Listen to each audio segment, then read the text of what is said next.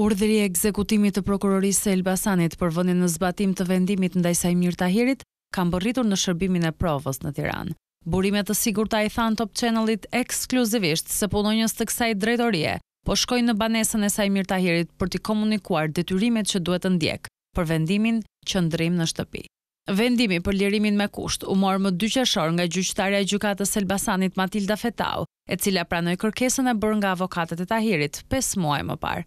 Kështu, Saimir Tahiri u lirua nga burgu një vit e tetë muaj para përfundimit të dënimit për shpërdorim detyre. Shkak për vendimin u bë një raport i mjekësisë ligjore, që shkruante se bashkëshortja e ka të pamundur për shkak të gjendjes shëndetësore dhe se ish-zyrtari i lartë do të kujdeset për dy fëmijët e mitur.